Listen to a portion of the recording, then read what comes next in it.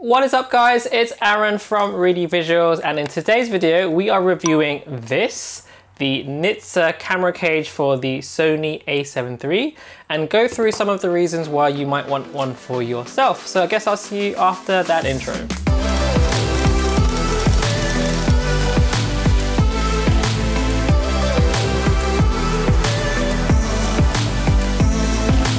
By the way, just in case you've noticed we're in a different location today, we are in Edinburgh, Scotland for the week. So anyway, if you're a video shooter, a YouTuber, content creator, etc., you may have seen people filming with these kinds of setups with like a cage. Now, essentially a cage is basically just a metal housing that goes around your camera like this. It's kind of like a like an exoskeletal suit for your camera.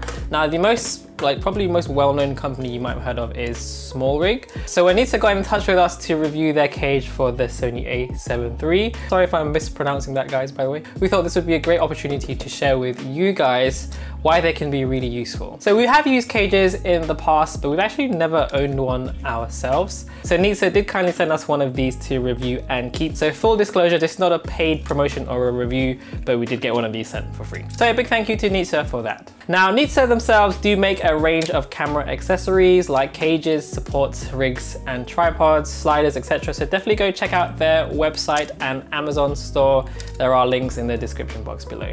There's a cool bus going by the window right now. Ooh, cool bus. Okay, now this cage is specific for the Sony a7 III and similar shaped bodies like the a7 II and R3, but they do make these uh, for a range of other cameras as well. So check the links uh, most likely your camera is included. So you can buy this as just the cage alone, or you can get a set that comes with the handlebar on top, and also like a bigger kit that has like sliders and stuff. Now we have here, which is the cage and handle kit, and this is gonna set you back 125 pounds in the UK, which is about $160 US.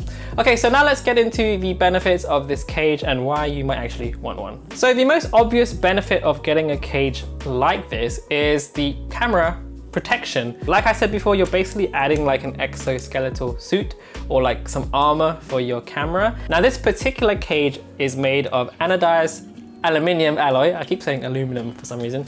Uh, so it's very strong, but actually at the same time, it's fairly, fairly lightweight. You're basically adding about 500 grams to your camera setup, but having this is going to make your setup way more durable. And if you think about how much you use your camera, how much you rely on it for your YouTube, your freelance work, your income, etc., it kind of makes sense to protect your camera your investment by having this cage on it. It is actually gonna help quite a lot if you're constantly out and you're running and gunning and shooting in like harsh environments. I feel quite confident if you're gonna drop this, for example, the cage would reduce the damage substantially to the camera compared to not having it on at all. It's kind of like having like a bicycle helmet. It might not make you indestructible, but in a lot of cases, it could be the difference between life and death. And I do feel like that the same thing applies with the camera cage you know, your lens is gonna die. it won't protect the lens, but it'll, it'll protect the, the, body. I really like the way they've designed the cage itself as well, because while it is protected, none of the actual important parts are actually blocked off. So you still have complete access and control to all the buttons, uh, the memory card slots, the ports, as well as the battery at the bottom. So that's really convenient. Installation of it is also really easy. It literally just slides on and you screw the cage uh, onto the bottom of the camera. So it fits on very securely and with very strong stability. There's no like, it feels like it's pretty solidly on there. I also really like the HDMI cable clamp, which secures the cable and keeps it protected because I can't tell you how many times I've broken these cables by like pulling it out. So that's a really nice bonus. Now, adding this weight might seem like kind of kind of counterproductive, but actually if you're filming video, having that little bit of extra weight does help with handheld shooting, particularly with this setup that has the handle, because I often find with lighter cameras, it's a bit more difficult to get like, to get very nice stable shots. But with this, having that extra weight as well as the handle, it's very easy just to get really nice, stable, smooth shots. Uh, particularly if your camera has good IS as well. So that's also a really nice added benefit. The other major benefit to having a cage like this is it has a bunch of quarter inch and 3 8 inch screws and also a couple of cold shoe mounts as well. So this means that you suddenly have this fully modular customizable camera setup where you can pretty much attach and unattach whatever multiple accessories you might need on the day. Now, usually if you just have the camera, you're able to maybe attach one thing on the top, one single monitor, one microphone, and that's pretty much it.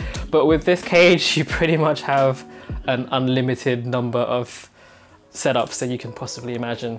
Now for me, this is a pretty big game changer, particularly if you are a freelancer or you're working in a professional environment, you're now able to have this fully customizable setup specifically for whatever project that that you might be doing. And I did find that once I started filming with this cage, it was quite difficult to go back to not having any cages at all. People, there's literally people waving to me outside.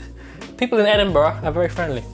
Uh, yeah, so pretty much the amount of configurations using a cage is kind of endless really, which is actually very, very cool. Now the only downside I can think of that I've encountered personally using a cage like this is that it makes it quite difficult to mount onto a gimbal. So we use a one of the bigger gimbals, the Zhiyun Crane 2, but it's not ideal as you're adding more weight with the cage to something that's already quite like cumbersome and clumsy. And I would imagine on a smaller gimbal, it'd probably be impossible or like very, very difficult. It's not like a major issue as I feel most people using a cage would probably use it for shooting handheld anyway. But if you are thinking about using this cage on a gimbal, that added weight it just makes it that little bit more difficult to, to balance onto your gimbal. Okay, so to summarize, let's answer that question whether you need one of these or not. It obviously depends on the kinds of videos you're shooting and how many accessories you might need. So I think if you're just shooting simple YouTube videos and you just need a microphone on top of your camera and you're vlogging, then it might not be super essential for you. However, like I said before, if you are a little bit more serious about video shooting, you know, you're a freelancer or you're doing bigger projects and you need access to multiple accessories, a monitor, a microphone, an external light, then this actually can be essential for you. That ability to create like a fully modular setup, as well as that added protection as well. If you think about the fact that you're spending a thousand, two thousand, maybe even more on your camera, that peace of mind, it's very difficult to go back to not having a cage. So at 125 pounds for this particular setup, that might seem like fairly expensive for what it is physically, you know, just a bunch of metal bars covering your camera. But it is actually quite cheap if you think about what benefits you're actually getting and also the potential money that you might save from any accidents and damage. So absolutely for me, this is already quite quite important, it's become indispensable to me. And it's a really simple addition to my setup, but one you know, one of the most important as well. It's very, very well designed. The build quality is fantastic. So in my opinion, it's worth the price and getting a very strong recommendation from me. So that's pretty much it in terms of the review. Uh, if you have any questions about this cage or anything else, leave a comment in the, in the comment section below and I'll try my best to get back to you as soon as possible. Thank you so much for watching. Hit that like button and subscribe if you're new here. You can also follow us on Insta and Facebook somewhere here.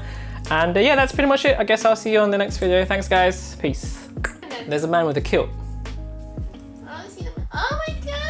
It's not even a stereotype. People are just walking around with kilts. We saw how many people with kilts have we? have seen three different people with kilts. We're getting sidetracked. One of them looks like a builder.